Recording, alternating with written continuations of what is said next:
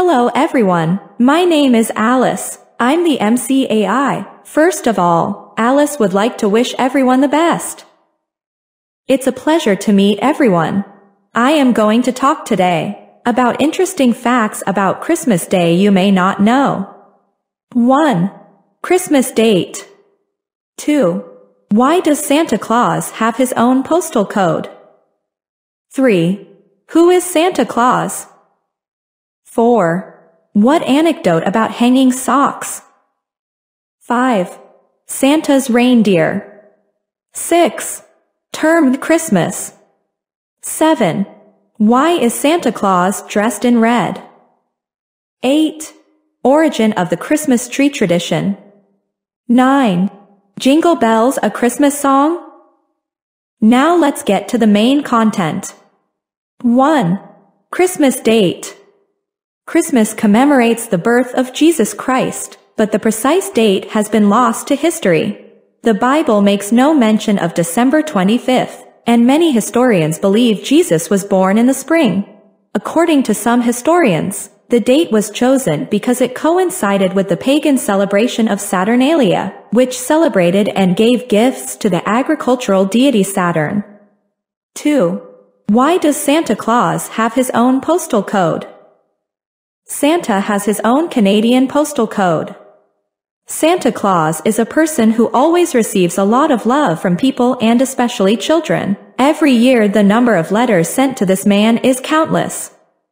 Every year, letters to Santa Claus flood post offices across the world, cementing their reputation as some of the nicest people ever. Some big, hearted Canadian post office workers started writing back. As the program took off, they set up a special postal code for Santa as part of a Santa letter writing program initiative. HOHOHO. 3. Who is Santa Claus? Saint. Nick was generous. The idea of Santa Claus came from Saint Nicholas. The saint wasn't really a bearded man who wore a red suit. That look came much later.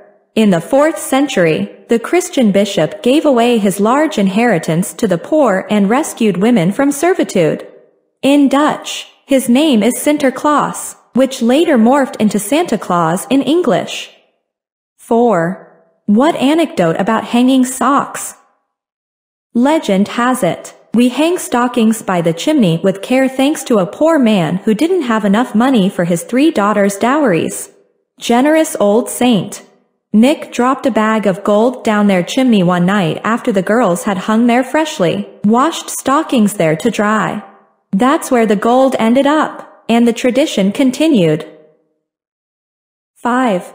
Santa's Reindeer Rudolph, the red-nosed reindeer who pulls Santa's sledges on Christmas Eve, is certainly familiar to you and your children. Rudolph couldn't possibly pull Santa's sled by himself. It's brimming with gifts for every nice youngster on the planet, and Rudolph can't do it all by himself.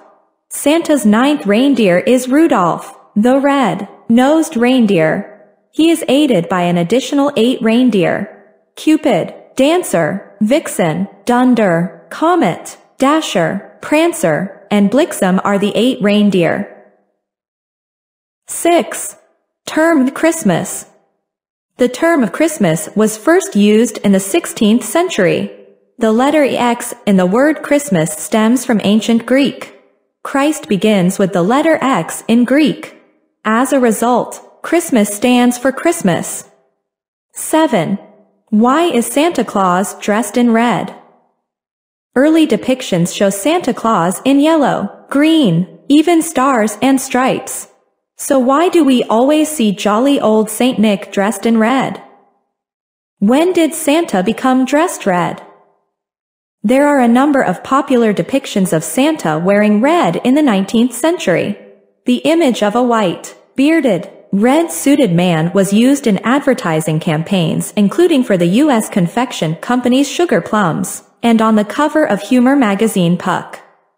An 1881 illustration by Thomas Nast Merry Old Santa featured a plump man in a red suit with a pipe and a rosy complexion.